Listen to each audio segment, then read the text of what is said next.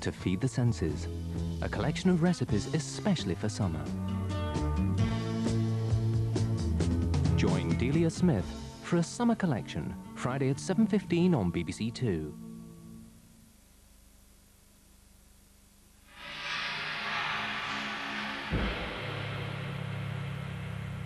A bicentennial feast now on BBC Two of your favourite food and drink.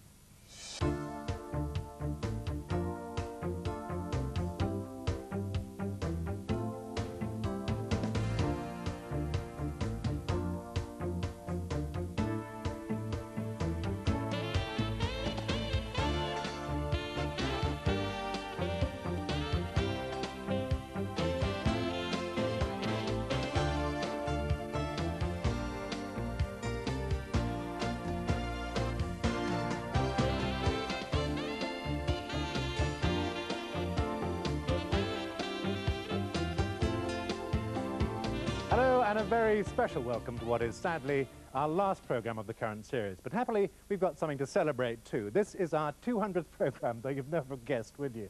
And we don't look a day older than 199. Since we started, Jilly and Oz have tasted 5,000 wines. Actually, I should think many more than that, going back as I do to 1982, and that says nothing of the teas, coffees, milks, orange juices, Caribbean love potions. But it's not Caribbean love potion today, it's wine. We're revisiting some of the wows of the last 10 years and looking at the latest incarnations in the shops of things such as wonderful Sauvignon Blanc from New Zealand, Chardonnay from Moldova. Uh, how did I miss those Caribbean love potions? Never mind, if I can concentrate, I'm talking about the new wave of reds from Chile and Spain. And we're going to show you a classic food and drink cut tonight when Sheffield lorry driver John Wilcock travelled through France with two Michelin-starred chef Raymond Blanc to cook and eat with Raymond's mother.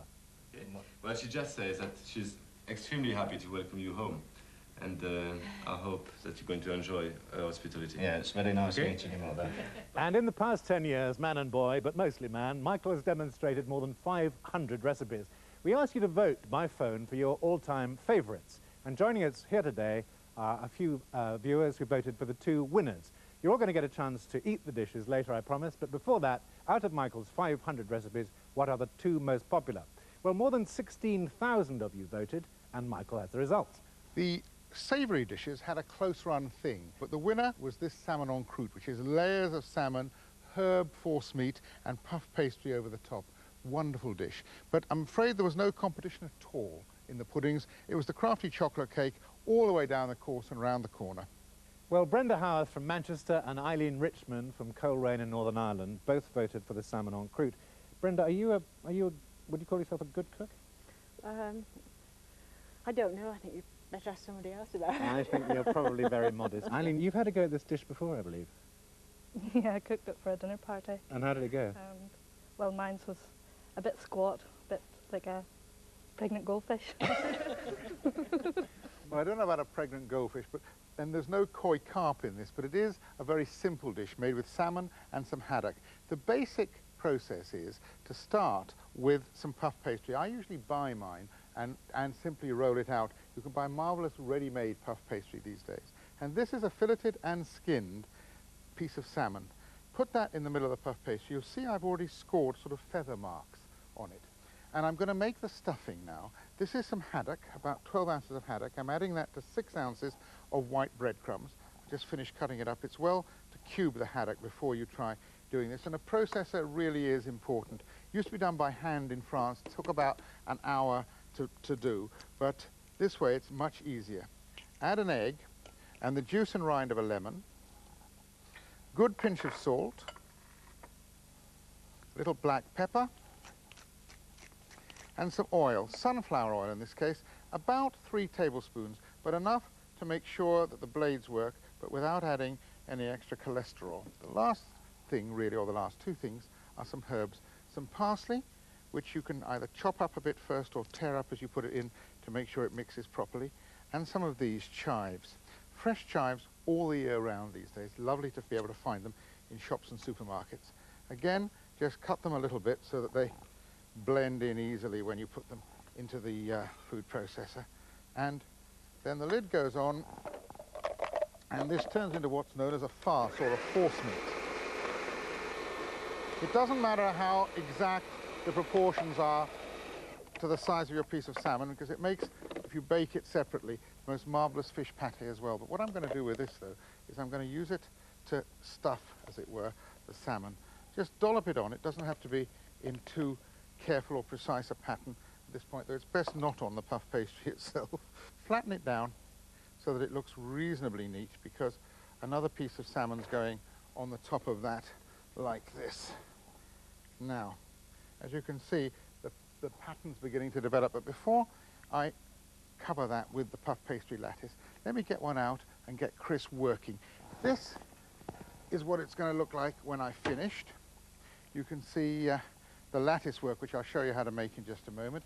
But my friend here, which way around would you like that? That way round. I think the head would be Now, pleasanter the, what I at. want you to do is to uh, practice your skills. Serve slices of that. There's a, there's a cream sauce and uh, Another one. and another cucumber. one. cucumber and fromage frais Yeah. sauce. And you can choose which you like. Fine. I'm meanwhile going to do this. The trick with this is to cut a whole lot of little, as it were, feather-like strips down the side of the pastry till you get close to the head end of the salmon. And then you plait them. I've cut them reasonably carefully, but I've re really not uh, bothered to do them too perfectly. And you just keep going, plaiting as you go, and you'll see that the pattern builds up with the help of a little egg wash. Little beaten egg just sticks it all together like glue. So you get a very, actually it sticks together like glue without the egg wash. is the problem. How are you doing over there? Well, it's not perfection, but then I always thought perfection was rather tedious. Do you want to sample the sauces to see which you think are the most perfect? Which do you recommend? This well, that's a cold one. cucumber smells It's, it's wonderful. got a nice sort of sharpness. The other one's a rich sauce made with uh, made with cream and the fish stock from the salmon. I've got some. got You've got spoon some. in the sauce. Oh, well, don't get it out and lick your It's fingers. one of those right? days in the kitchen, We've Michael. You know guests, how we've got is. guests, and I don't want any licking of the fingers job today. All right. Exactly. Now then, I've just about finished here, except for putting the head and the tail on. So let me uh, finish this little bit here and show you about the head and the tail, because there are a couple of little things. It's very, it's very artistic, this bit. What you do is you cut a shape on the tail, like that, and you can make markings, if you like, to simulate the uh, bits and pieces. And the head is a wraparound job. You uh, put some more egg wash on and fold it all over so that the salmon has a kind of fish face shape.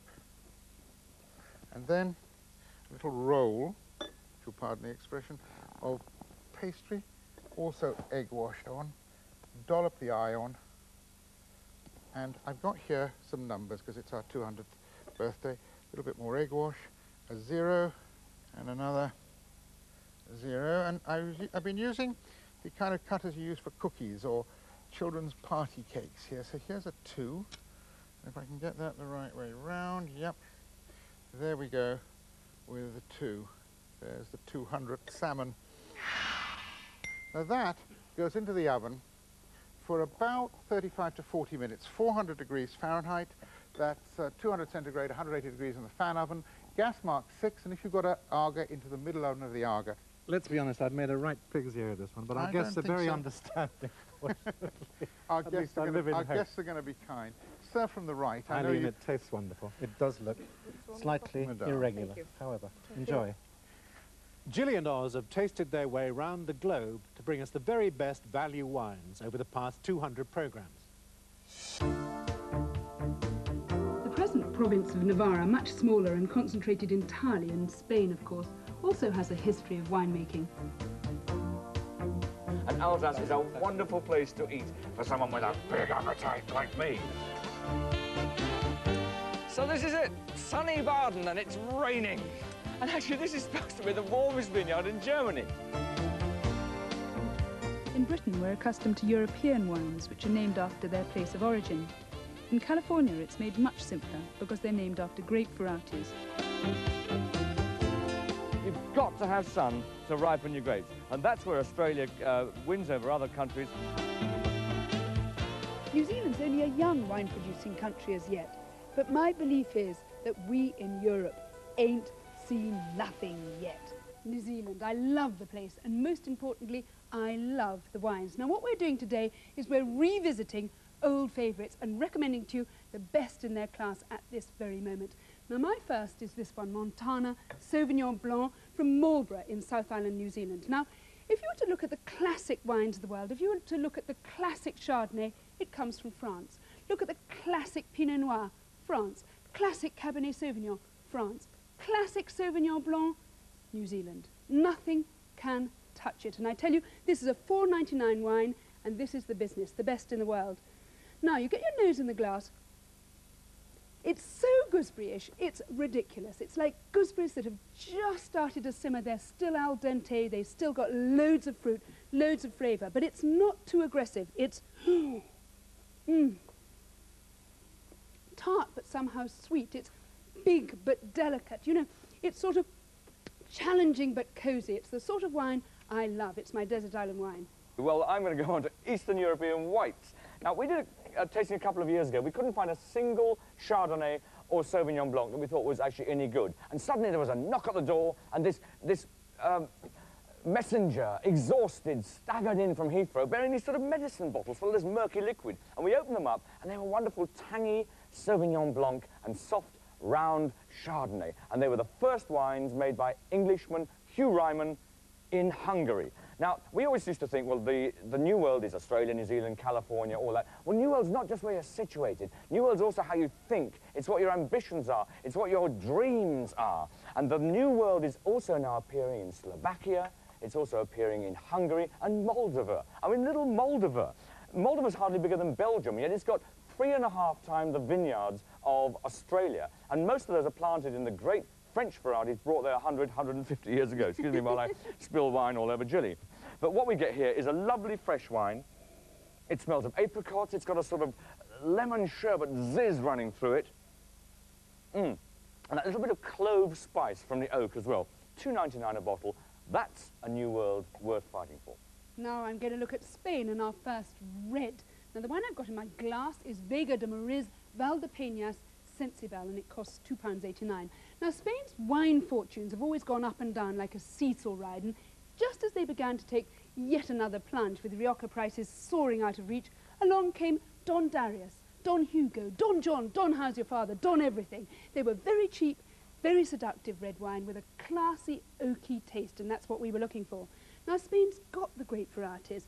Tempranillo, that's the Rioja's mainstay. It's a fabulous grape and mixed with oak it gives those lovely vanilla fruity flavours.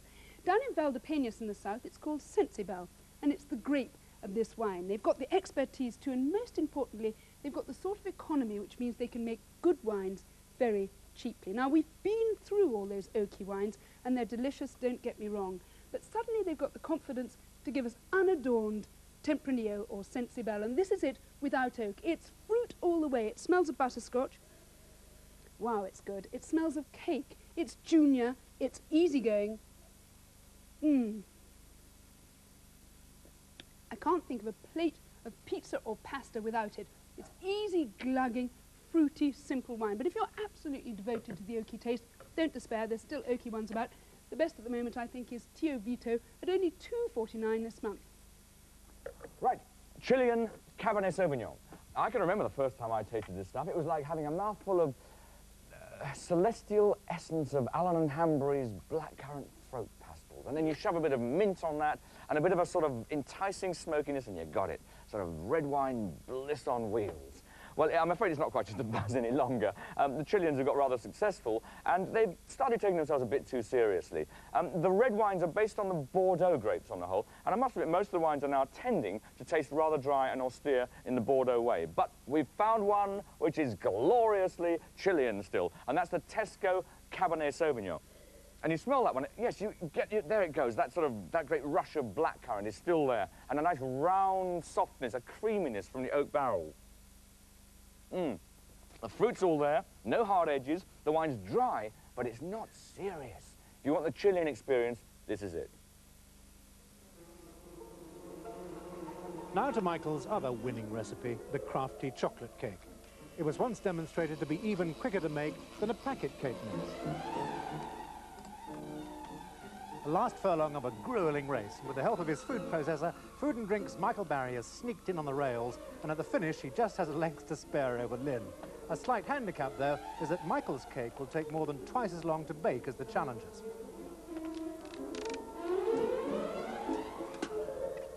Michael was heavily into Herman's Hermits at the time. I'd like you to meet two people who now both voted for the chocolate cake. They're Paul Middleton from Rotherham and Carol O'Hara from Dumfries. Paul, you, uh, you do a bit of cooking yourself, don't you? Yes, I do quite a lot at home. And you're a paver as well, aren't you? Yes. A man of many, many yeah, parts. I do patios and driveways, and I mix concrete every day, and I just wondered if it would be as easy making this cake.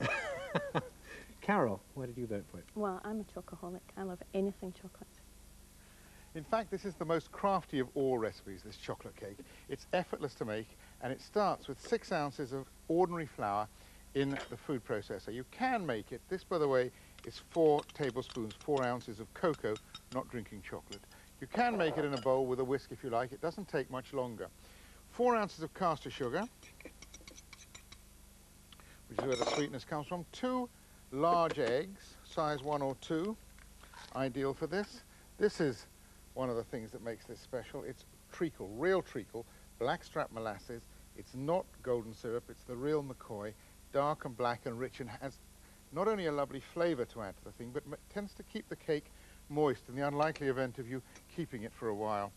This is a quarter of a pint of milk, and the same quantity, another quarter of a pint of cooking oil. This is sunflower oil, so the whole cake effectively is polyunsaturated as well.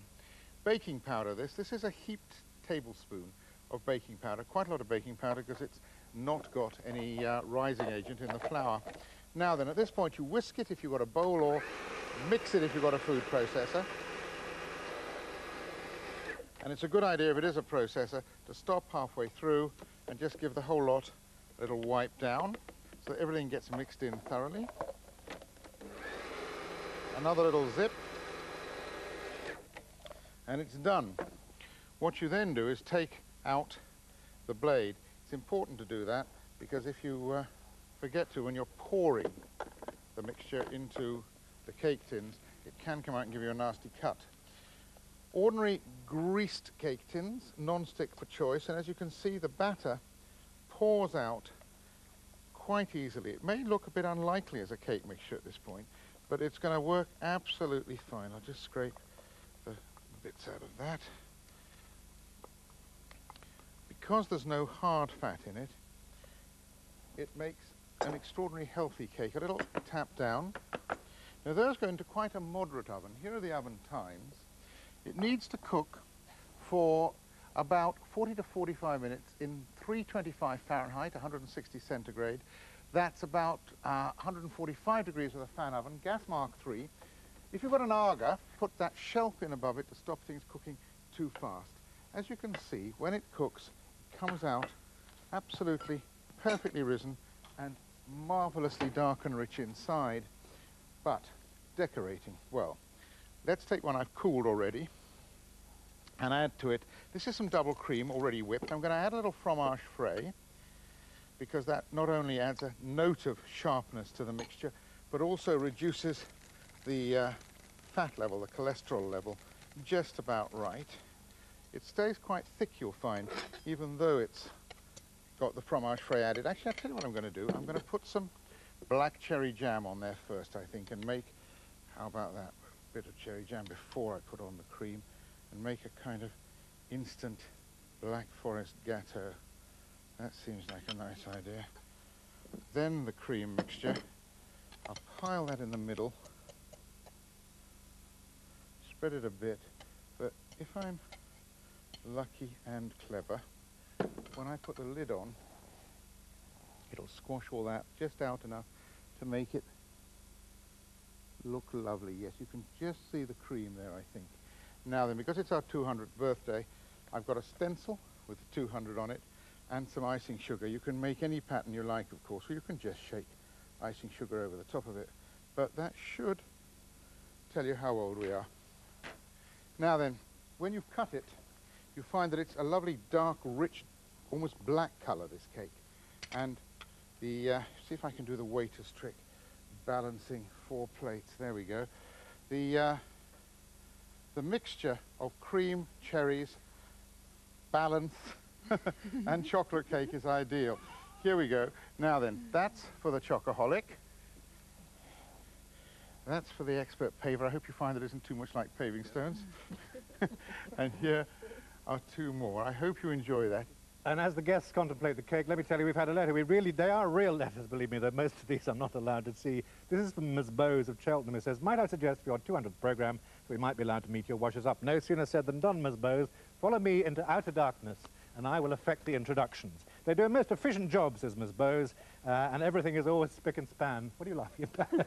spick and span during the programme. So this is Susie, this is Alison, this is Ray, doing a grand job, at least I hope they are. Susie, are you pleased with the team? Well, I am. I've burnt a few cakes and Ray's broken a few glasses. Raymond, so it's coming doing out of very your pay. You'll be owing us this week. You realise that, don't you? Just as they say in a restaurant, the plongeur is the most important person, so it is on this show, because not only wash up, they also style and design and keep a tight ship, as they say. Next on Food and Drink, a very special and classic encounter between Sheffield lorry driver John Wilcock and top chef Raymond Blanc, which we're showing for a special reason. In 1986, John Wilcock and Raymond Blanc set off on a tour of eastern France. John, who sadly died last year, was introduced to every level of French cuisine by Raymond, proprietor of the top-rated Manoir aux Quat'Saisons near Oxford. In Raymond's home village, they stopped at a simple family-run restaurant to sample French pear tart. Is it plain flour what is using, also self-raising flour? We use very little self-raising flours. Look, eggs, flour, water, soap. Boom, finished. What do you need to make it more complicated? No. You use a nice plain flour. The pastry will be crispy, will be flaky, and it will be delicious. The pastry, don't you think it'd be better with a self-raising flour? No. Not quite as hard. Well, can I taste it? Mm. Don't you think it'd be lighter It's with a, a self-raising flour? No, it's so beautifully flaky. It's lovely and crunchy and crispy, for God's sake. Self-raising flour would be soft pastry, too soft. Too soft? Yes. Oh. But maybe, I think I'd just prefer the self-raising flour, you know. Mm. You know. John would not be budged. Next stop, lunch with Raymond's parents. Donc, premièrement, je voudrais t'introduire à John. John Wilcox. Enchanté. ok Bonjour, David. Bonjour, monsieur. Enchanté. Très heureux de vous accueillir dans notre maison. Okay. Well, she just says that she's extremely happy to welcome you home. And uh, I hope that you're going to enjoy her hospitality. Yeah, it's very nice Okay? meeting you, Mother. Parfait. Oh, je vois déjà. Tout est prêt déjà. Madame Blanc is cooking Sunday lunch of pork and fresh vegetables. Everything seems to be ready for lunch. Yeah, looks nice and fresh, doesn't it? My father offers some uh, bouquet of parsley to my mother, not flowers, you know. Yeah. Does your father cook? No, my father is not Doesn't allowed in the cuisine. He's absolutely the most. Uh, he grows He's a one- vegetables. But you see, this garden, John, will typify a Frenchman's house. Typical. Yeah. Where do you see some lawn, and some lawn anywhere? There's No, none. it's all vegetable. You see, Yeah. an Englishman will grow a beautiful lawn, a Frenchman will grow a beautiful garden. Yeah, I've noticed the apples over the other side. Okay, well, I'm going to do a bit of work. There's a nice smell round here. Oh Thyme. yes, just over the bed of thyme, actually, which is lovely.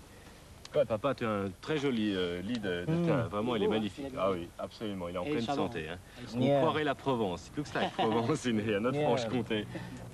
On previous trips, I'd asked for salad, but not getting anything This- like this. This isn't the celery, celery as I know it.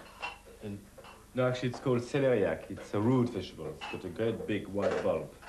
And the taste is quite uh, stunning and very, very enjoyed around here. Yeah. Actually, it grows. I, I grow them in my own garden in England, and they grow very well. Mm. You can get them in any shop. They're very, very common. You can get Yeah. them very easily. And they do beautiful salads, beautiful vegetables. Raymond, what is it what your mother's done with this pork? Just the loin of the pork, which is lined, the inside is lined with prunes, slightly soaked in Armagnac and uh, lightly marinated. And what's it been marinated in? In Armagnac, I just told you, and uh, we're Oh. going to use the juices of the prune. Okay? see. We use that marinade actually to do Yes. the roasting juice. Is your mother just sealing it Well, now? we're just searing it a little bit Yeah. to give it a bit of color, which Yes. will provide a bit more. It's going to be much more appetizing and for taste as well. So half oil, half butter, and just sear for a little while. Not very long, worry about you. You can you can smell it now. Tell your mother it's the the aroma is coming up. Yes. Even now. Il pense que ça va être délicieux. Ah, je pense, oui.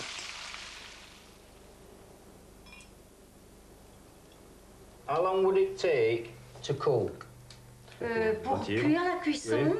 eh bien, oh, une, deux heures hein, quand Deux même. heures. Deux heures, il faut que ça soit mijoté. Oui. Oui, dans Uh, le jus. Two hours at a very, very slow oven. So the meat. Slow oven. That's right, very slow oven. So the meat re- retain its more, uh, well, stays moist. Yes. Obviously, yeah. you don't want a hard hit, okay? So The vegetables. See, Uh, look, John, that's a small technique which is quite interesting.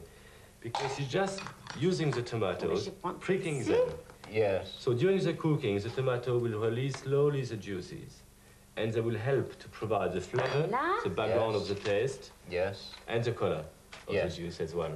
And is, See? is these uh, vegetables and the herbs, are they what your father, what your father's grown himself? Well, you'll find a small paradise here of food, actually, because everything grows in the Yeah. garden. Everything is Mm. grown in the garden. So Yeah. look at that, how fresh it looks, how It is fresh, appetizing. isn't it? Just pouring the marinade juices. Yeah. Just a tiny bit of armagnac Yes. juice. I can see that there's been no fat used or anything. There Yes. is just the Mm. right amount of fat to feed it, that's all. Yes. No more. Oh. Okay?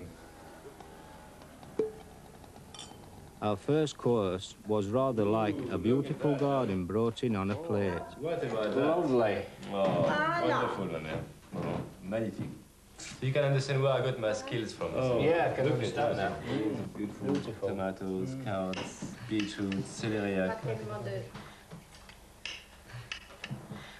Moi, c'est pour que je récupère mon teint de jouvenceau. Ah, ah, Vraiment, ça donne une bonne mine aussi. Mais euh, ajouter un peu de sauce. Et- Oui? Madam, Yeah. Mm. did you expect your son to be grow up to be a famous chef when he was a child? Jamais, non, jamais je pensais que Raymond serait un grand chef comme Là, je veux ça. dire une chose, euh, moi non plus. Un grand chef, Euh, et C'est une chance, j'ai eu la chance de découvrir. C'était, I, I was lucky enough to discover that ability. Because as you know, I'm self-taught. I never had a, a chef over me who has uh, taken my hand and uh, shown me the path. I had to learn all mostly by myself. Yeah. And obviously the skill of the mother and the, Mm. the, uh, the early education within food I had has helped me tremendously. I mean, I'm so lucky man because I live in this lovely little village. My father is, a, is God's gardener. Yes. My mother is, is, is God's cook. I mean, it's both. I mean, it's, and the food is so pure, Yes, so fresh, Mm. so beautifully cooked. Of course, I, I, I have learned in some way yes, a, a lot out of it. The smell of the pork preceded it. I couldn't wait to try it. Haricot beans and wild mushrooms went with it. That's the offering. Oh. This is what I've been waiting Okay. to taste the juice. I'm going to try it with a spoon, this.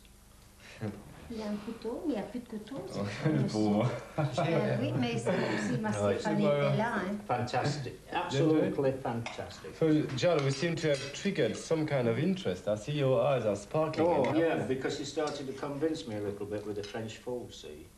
Oh, I'm not doing too badly, am I? Oh, not too bad Well, at actually, all. it's not me. It's You your mother. all. Yes, and it's your mother what you've got to thank. Maman, vraiment, c'est vraiment délicieux. Et je pense vraiment que tu es un des plus grands chefs que j'ai jamais rencontré. Tiens, fais oh. la bise.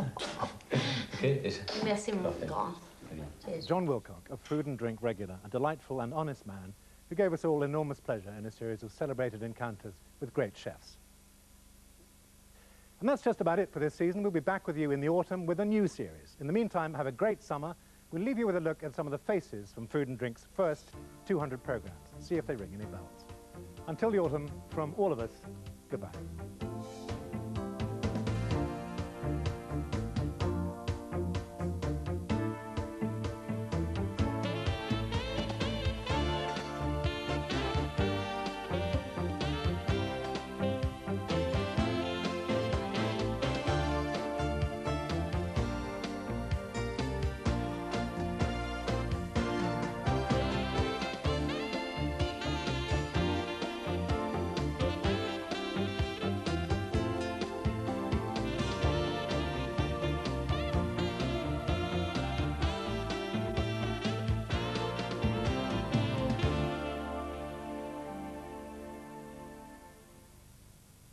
Michael Barry's all-time favourite recipe for chocolate cake is featured in the new issue of the Radio Times, which also contains complete listings for all television and satellite channels.